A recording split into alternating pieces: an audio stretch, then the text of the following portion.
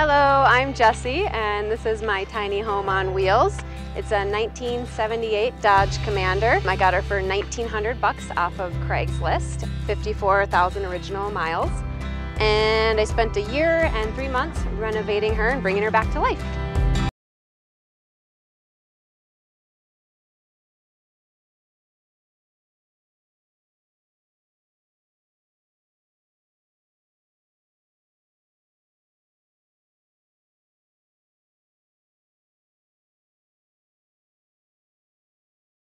You know, that kind of indefinite 90s look. But when I saw her in her awesome vintage look, I knew she was mine. By the time I talked to the guy the next day, 11 people had already called because he was listing her for so cheap. And there was already somebody on their way, but they fell through and I headed straight there with cash in hand. And the first thing I did was just crawl underneath her because I'm from Minnesota and you have to check, make sure that it's not a rusted out frame. And it looked solid. So after that, I was like, I mean, if it runs for 1900 bucks, I'm sold. This used to be uh, your standard camper seating arrangement. It was like a horseshoe and then it had a table in the center that dropped down and there was another bed. I didn't need to accommodate that many people and I wanted it to be more spacious. I demoed out the two pieces right here, put these chairs in and then I lifted this up to be table height. So I built um, I built it up and then most of the time when I use this, I just sit like this and I don't flip it up. Um, if I need more cooking space um, or more dining space, I can do that. And then I can have a proper meal. I mean, I rarely have this flipped up, honestly. I spend a lot of time in bed, mostly. that's kind of my, yeah, that's my chill zone. But yes, I have worked on my laptop here. Um, if I have anybody visiting and we want to have like a nice sit down meal and we have like multiple dishes, it's nice to have the extra space to do it. And there has been times like where I've decided to bake and just having more counter room here to bake is definitely essential. So this ended up being kind of just some negative space that I wasn't really sure what I was going to do with it. But this area, absolutely, I had an idea and I built this up a bit higher. As you can see, this side is higher than that side.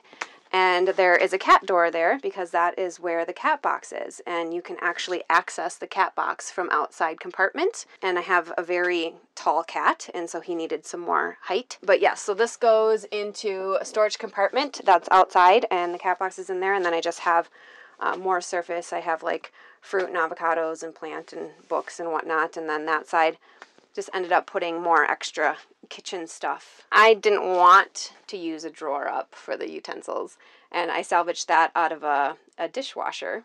So I thought it kind of has a nice color, and I wanted to reuse it, and I like it um, to just be accessible. I don't really have a ton of cabinetry and drawers, so I feel like anything that I can come up with to kind of stick different things in different places. Also, it did have cabinet doors, but once again, I wanted to open the space up because I just, um, you know, I figured the more negative space I could create, the more open and breezy it would feel. So I found those bins and they happen to fit very, very snugly in there, so I'm not concerned about them falling out. And I had heard a lot of horror stories about things falling out when people are driving and going on bumpy roads or taking sharp corners and everything just like the doors opening and everything spilling out. So that has never happened to me. They are a bit of a pain in the ass. Like I do a lot of this because getting them in and out is kind of tough. So I mostly just peer into them and pull things out. And moving into the cockpit of Mander, I have a single bed up here that actually drops down which is why I felt so comfortable getting rid of the extra bed there. I don't ever want more than three people sleeping in here.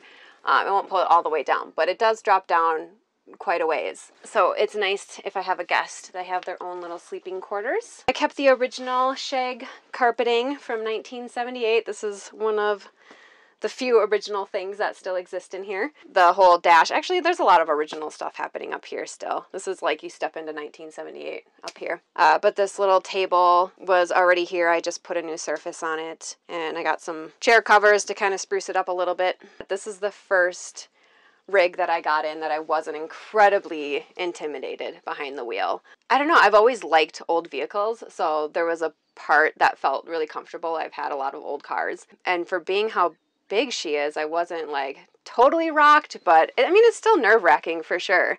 And a lot of the gauges don't always work. Some of them work sometimes, and I've learned if I my gas gauge sometimes doesn't work and I have to just give it a little knock in the right place and then it'll the needle will start working again. Yeah, so this dog house comes off pretty much daily.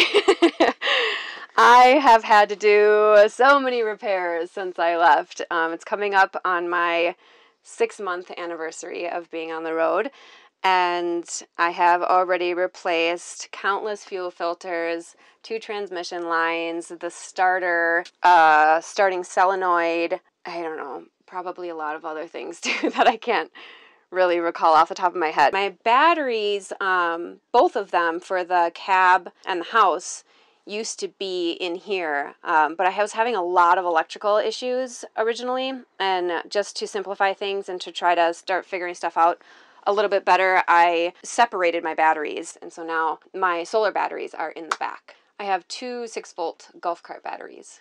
For my solar panel, it's a 230 watt. I made a lot of changes to um, not really need much electricity at all. Like all of my light fixtures, they used to be fluorescent and I switched them over to be LED fixtures and bulbs. I do pour over coffee. I don't have um, a microwave or, I mean, I have like a handheld blender and that's really probably my biggest have a small fan. I have the fan on my compost toilet my water pump. But yeah, I don't I don't have a lot. Of course, like my tablet and my cell phone, but I don't uh, I don't use a ton of electricity, so it's definitely more than enough. This area, I just did a new countertop and a new sink. It used to have two shallow basins, which I thought wasn't very practical. I just wanted one deep basin. And I got this off of Craigslist for like 20 bucks. And then this wall was super water damaged and I was running out of time. I couldn't rebuild all of the water damaged areas. So I ended up just sprucing it up by putting this, um, it's like a backsplash. And then I did some sticky tile so you can't see how bad the wall is anymore. So I did have help from family and friends, but I did a lot of it myself. I didn't have any previous experience with carpentry, electrical, um, plumbing, and I just absolutely dove in and experienced a giant learning curve for a year and three months. And yeah, I mean, I have, luckily, I have a lot of friends and family that are knowledgeable and, um, you know, they couldn't always help me physically, but I could call them on the phone and be like, well, what do you think about this? And I did that more than I did any sort of online stuff. Um, I tend to learn better being able to talk to somebody. And I did a lot of it just by going for it and messing up and and being like, oh well, that didn't work very good. And case in point, right here. Um, so I this was a countertop that had been damaged that I got severely discounted. I cut it and it had a lip and I forgot to include the measurement of the lip. So when I put it on here, I was about this much short back here. So this was kind of my creative way to hide. My, I, I just broke the lip off and then I, and then I, and then it fit perfectly. Then I was, you know, measured correctly.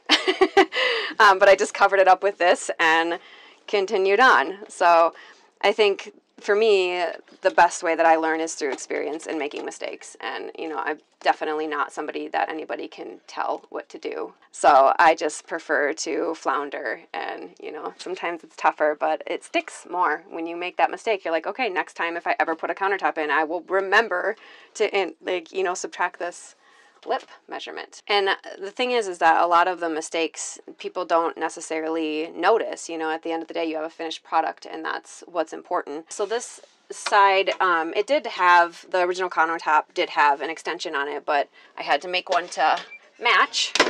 I when I do the dishes, I pop this up, and this is kind of like my area to um, let the dishes dry, and once again, more counter space if I need it. So this faucet was up so high and so close to the back of the sink that it would just water would go everywhere and it was so annoying. But I got this for like eight bucks and it is a super game changer. So you can like change it around. It has two different kinds of flow. Yeah, it, it has made my life so much easier. So when I am on the road, I do not shower very much. Um, I have a really awesome shower that you will see, but I use it sparingly. I, because uh, um, it depletes my fresh water, you know, the most out of all my other um, needs for fresh water. And it also uses propane because I have to light my hot water heater. My propane tank that's mounted is, I think, 10 gallons. I just use a buddy heater for my heat now because my furnace was doing actually was using too much electricity when I had to run it at night, and then also it makes it more difficult when I have to get my tank on my um, unit filled, you know, versus just having a 20 pounder tank that I can go and exchange anywhere. So that's a lot. It's a lot easier for heat. I think I can go um, about two weeks on 55 gallons of fresh water. So here's another little like clever thing that I did to kind of speed up the process. When I took the old hardware off of these, it left three giant holes. So I just ended up getting these little wood pieces and covered the holes so I could put my new hardware on, which I don't totally love, but it got the job done. But in here I have just, you know, my plates and bowls and glasses, and I most of my plates and bowls are stainless steel, which is nice because you can reheat in the oven and on your stovetop. And then if I do take a really hardcore turn and everything goes spilling out, things will not break. They're clattery though, which is kind of annoying. And then down here, here's, here's a hot tip, child locks. I was having a really hard time figuring out how to keep these closed without it being uh, super visual. And a lot of the things that I were finding was not um, working with the way that my cabinetry was formed. Like it just, I bought and returned things like a million times. And then all of a sudden I was like, oh, why don't I just get child locks? So it works way better. This is where I have my garbage. This is actually uh, a paper shredder container that I found in the garbage. I was like, oh, that'll mount perfect. All about the repurposing. So this is my four burner cooktop and my oven, which people always think is a microwave, but it's not. And this is original. The oven actually had never been used before when I got her. So um, it's been used now for sure, but um, it was all in really great shape. So people always think that these knives must must fall, but they don't. They're it's like really I mean, it's pretty hardcore magnet. Nothing has ever gone wrong.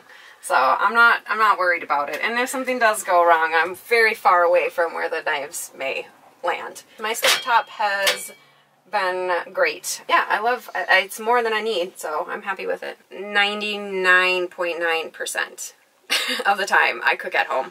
I do not have the budget to eat out. So I am always grocery shopping and cooking at home. Mander, did I ever did I ever say that I call my unit Mander? yes, I believe so. Did I say Mander? I think Anyways, so. her name's Mander because uh, saying the commander all the time is a mouthful. So Mander did have a generator. It sounded like a freight train, and once I got it running, it would not shut off. So we had to like pull the spark plug to get it to shut off, and I just knew that there was no way I would ever use it. So I got a generator that isn't necessarily for RVs. It's not meant to be enclosed, but I have it in case I ever need it. It's the only way that I can run my air conditioning. I really don't ever want to run my air conditioning. I hate white noise, so I don't want to listen to my generator and um, it uses, you know, gas and it's just, it's just not something I really want to do. I would love to just continue to drive away if it's, if it's too hot. So this is my fridge. I run it primarily off of propane. It can be run off of 110 as well. It does need a 12 volt assist, but once again, it's more than enough space that I need. It was newer, so I know how much these are, um, how much they go for. So when Mander was only 1900 bucks and I knew that this fridge was a newer fridge as well, I was like, it's totally worth it. But before I left, it broke. and I had to, this little unit here um, is $400. So I got lucky. I, you know, everybody that I called and Norcold included, they were all telling me like I have to bring it in somewhere. And I was like, I do not have the time or the money to bring it into a professional and so I just did troubleshooting as much as I could with like a little 12 volt light tester and kind of decided that this control panel has to be the culprit and I just ordered it and crossed my fingers and it ended up working. So um, haven't had any problems since.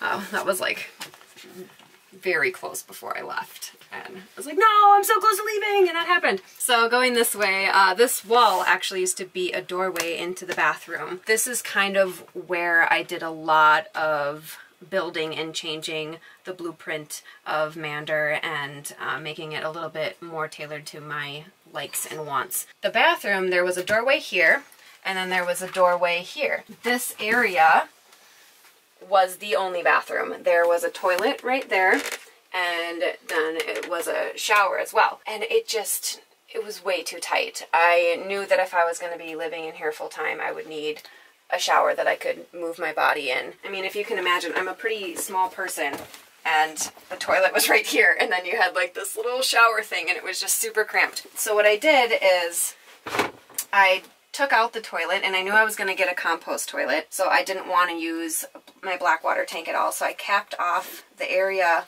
where the toilet was and then there's still a shower drain right here. But when I did that, bottom of this basin obviously looked not great. So I got these slats and um, the water can still drain through them, but it covers up the fact that there used to be a toilet right there. The walls in here were an awful, really hideous linoleum.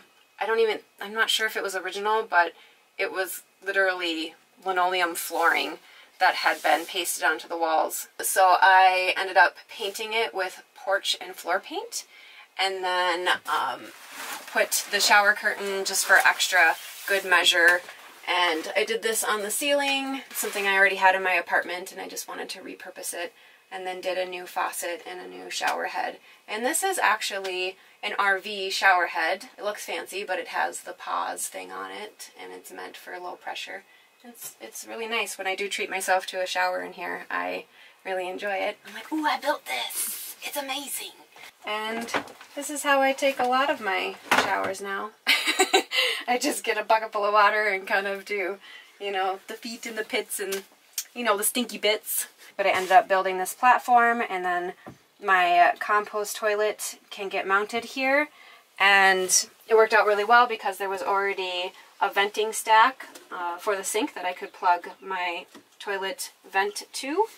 And then I built all of this as an addition. This used to be open and I basically turned it into a hallway by building um, the bathroom closet here and uh, you know I needed to close off the toilet area and then I certainly didn't mind having more storage areas. I built this storage closet and it also works as kind of my control center for my solar. My solar cables come in through the side wall right there because my panel is, mount is uh, mounted up here and then the cables run this way and then that goes to my charge controller and then um, I made a battery bank um, box under here. And then my inverter is mounted right there. My inverter powers the 110 throughout my rig, but I also plug directly into it. And you'll see in the bedroom, the face of it is sticking out through the wall so I can plug in like my cell phone and stuff on the other side of this closet. But yeah, I use the 110 outlets um, throughout Mander, and then I use the USBs on my inverter. And then this is um, another crafty moment. When I got Mander, she was severely water damaged. Kind of everywhere, but mostly like starting here and back. I didn't know how bad it was until I started investigating and it unfortunately uh, was pretty bad. So I had to rebuild half of this wall and this is my way to hide the fact that I have like a new wall from like this point up and then this is like old old wall and it just it looked kind of janky. So I found these at good old Menards and I didn't even have to cut them. They actually just snapped in there. They're the perfect size. So it was kind of meant to be. So I um, like I said before I had no previous experience. I, I hadn't even traveled in a motorhome before, so I I didn't really know what I was getting into on any level, which was good. You know, being naive allows you to jump into things that are a little bit over your head. Um, but I am super stubborn and I, you know, I will do it whether it kills me or not. I knew that I was in for a lot of learning and a lot of, um, I don't know, just just kind of figuring out as I went. But I didn't I didn't expect there to be so much water damage, and you know, putting my finger on the wall and it having it just sink in, I was like, oh god, that's not good. And then um, as I was tearing it apart, you know, it's definitely so my dad was helping me at the at this time he um, he's been a carpenter his whole life so we kind of put our heads together to try and figure out how to rebuild um, a motorhome's walls and he was just like well where do you stop you know like i mean it, i could have replaced all of the walls and all of the ceilings in mander i mean she's old and it's definitely seen a good amount of water but we stopped here here up and then um, the back did rebuild the whole ceiling and um, half of the wall on this side. But yeah, I mean, there was a lot of times where, I mean, there's a lot of tears. It was, it was really hard, but I knew I was signing up for something that was going to be hard and I wanted to embrace the challenge and, and know that it was an opportunity for growth and for becoming much stronger and more knowledgeable and just being able like, I really think people are capable of so much more than they give themselves credit for. And I think that's true, you know, for other people. So I have to think that's true about myself. And, you know, we just have to keep on persevering and we can accomplish it, you know. So over here, is the closet. This is another reason how I knew Mander was mine. Most motorhomes do not have good closets. They're like tiny. They're probably maybe this amount of size. And I was prepared to get rid of a lot of stuff. Like I absolutely did not want to have as much things, but I love clothes. So this was, um, this made me happy that there's like a good amount of storage. I have, you know, my hanging and I have a little shelf up here and then I have some bins here and four drawers. So I didn't have to pare down my wardrobe as much as some people do. Finding that a lot of the older motorhomes did have bigger closets. It seemed like um, as they get newer, the closets get smaller for some reason. And then I installed this door, which was an easy peasy solution to just have some privacy. I got it from Lowe's. It was pretty cheap. I feel like it was maybe 20 bucks. And you just cut it to fit. So it comes a certain length and then you can um, just trim it off the bottom and install the track. So it was an easy solution to create a little bit of privacy. Alright, so coming to my bedroom. This is where I spend the majority of my time, I won't lie. This is actually where I had to build um, a new ceiling and then the wall is new on this side as well. And then it did not come with this bed platform. I had to build this back here. It was just kind of naked. The bed platform is on hinges, so I can lift it up and there's storage underneath. And then on each side that kind of supports the bed platform, there is my freshwater tank over here and I have like my hot water heater over there and my water pumps over here so I can still access everything that I, I need to. This is the bathroom vanity that what used to be on the wall around the corner that I loved the look of so I needed to find a home for it and this ended up being the only wall that it would fit on. But it's nice because I got some bedside stuff in here and nothing ever falls out. This ledge originally was probably only, you know, this wide and that got demoed out and I rebuilt it to be wider because I knew I had a queen size bed and then I had some negative space so I figured this would be a great spot for the cats to lounge because I have so many windows back here. They absolutely spend a ton of time back here. This is like the chill zone for all of us. Since I have kind of some cubby holes within the framing, I just have, you know, suitcases and baskets with sweaters and extra blankets and just whatever I can kind of shove in there. These are LED lights and I just use rechargeable batteries for them, but they have a remote, so it's nice. I can, um, they're light enough for me to read and then I can just like click the remote when I start falling asleep. But these fixtures are LED, so I use those as well if I need a little bit more light. These are from Ikea, and since my windows are so massive, um, I had to kind of piece them together and I ended up with gaps here, but these gaps ended up being a really happy um, accident because the cats love to just kind of peek in between them. So even when everything's shut down and most people can't see in here, my cats can kind of still peek through the cracks and and keep watch. The storage up top was already there, um, but since I had to rebuild the ceiling, it ended up being a little lower because um, we beefed it up. And so I had to take the doors off and I just made these curtains um, instead. And everything that goes up there is nothing that's like gonna fall out, you know, just some boxes and stuff.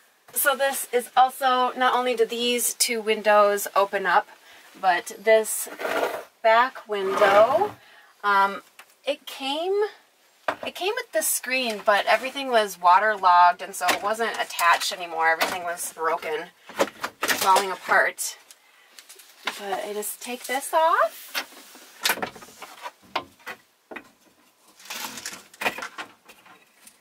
And I can get even more airflow back here. And then I, it still has a screen, so my cats don't escape and the bugs can't come in. So it, um, you know, having all these windows, sometimes it sucks with the sun coming in because um, it can get quite warm. But when everything's open, there's so much breeze that blows through that it, uh, you know, it can, it can still stay cool even though the sun's coming in. It's really nice having all these windows. I mean, yeah, the downfall for sure is when I was um, in much colder weather. This is the coldest room and the hottest room. Um, but like I said, as long as the windows are open and I have my fan here and I can get the air circulating, it's not too brutal. And since um, this window isn't really open, I can always pull um, you know, there's the screen's just on this side, so I can always pull this blind to block out like half of the, half of the sun uh, that comes in. And then I have this one open so I can get kind of a happy medium. Like I said before, with the heat, I mostly worry about my cats getting too hot. So what I did is this area is the underbed area and there's more storage under here. And my older cat tends to want to hang out under here anyways. And so I created, oh, there he is, that's a Atreyu.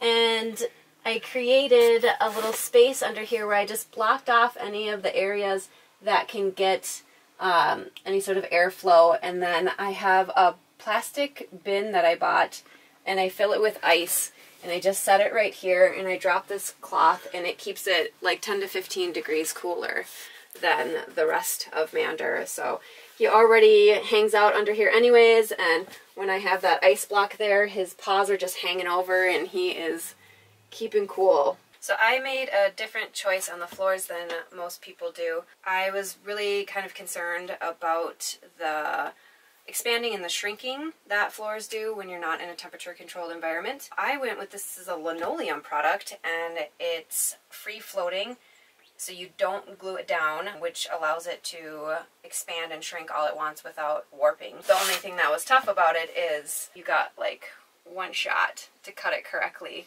But I made a subfloor out of quarter inch Luan and um, kind of put it together like puzzle pieces and then I rolled out the floor and put those puzzle pieces onto the sheet and then cut around it and it turned out pretty decent and people do a lot of time think that it's the planks but it's actually just one sheet. Let's check out that cat box room. It's like my pride and joy of my build. So I'm going to show you where I keep the cat box. My hood ornament.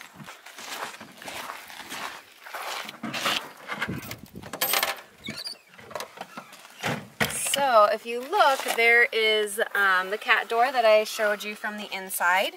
And then this is where, oh, there's people there, but this is where I keep the cat box. There's the cat cleaner, and then um, right here is the basket with that cooling pad. On this side, this is like a whole dedicated cat space. This side is where I keep, this is their extra wet food.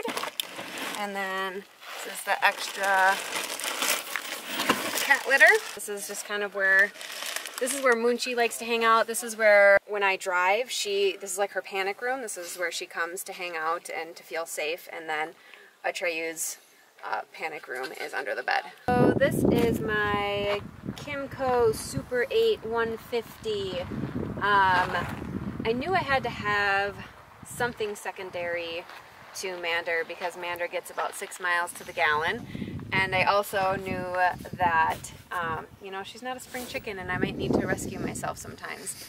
Um, I did not want to tow a car because I was already a bit intimidated with driving her. Um, last thing I wanted was the extra length and dealing with the jackknifing and I just, I didn't want any of that. So I decided to go with a larger scooter and it has, oh my gosh, it's so amazing. I'm grateful that I have it pretty much daily. Um, when I get set up somewhere, I can offload it and then whether I need to go do laundry or get groceries or, or just explore or scout out an area, this is like so amazing to have. And it's really, uh, it's really made me feel safe at times too. Like I have problems and there's been times where I've been out in the middle of nowhere and I was not sure if Mander was going to start again and I was like, well, at least I have my scoot. I'm very grateful to have this all the time and I think I made a smart decision with it. If you want to follow along um, on my adventure, and uh, trust me, it is an adventure,